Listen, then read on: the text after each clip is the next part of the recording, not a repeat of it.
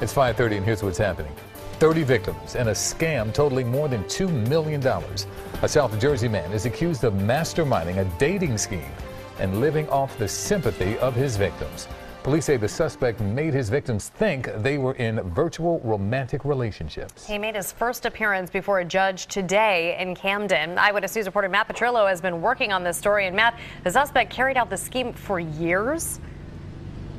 That's right. It started back in January 2016. It didn't stop until this week when investigators finally nabbed him. Authorities tell us they were able to catch up with him because he also he often bragged online about his wealth woke up with $100,000. This is one of dozens of online posts showing off Ruben Sarpong's lavish lifestyle, and it's these posts that ultimately led authorities to his doorstep in Millville, Cumberland County. Investigators accuse the 35 year old of conspiracy to commit wire fraud. Police say it all started three and a half years ago when Sarpong allegedly started making fake online dating profiles posing as U.S. soldiers serving abroad. He would then create relationships with his victims before asking them to wire him money. Receipts we obtained show one victim sending $5,600, another wired $28,000. In all, there were 30 victims. They sent a combined $2.1 million.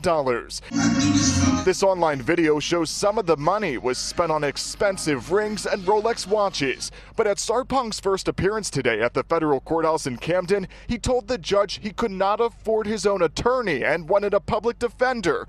The judge didn't buy it and scoffed at the idea. You better move that camera out my face. That's what you better do. Meantime, Sarpong's real life lover, this woman in the camo shirt who says she's Sarpong's fiance, had nothing to say to defend him following his first appearance.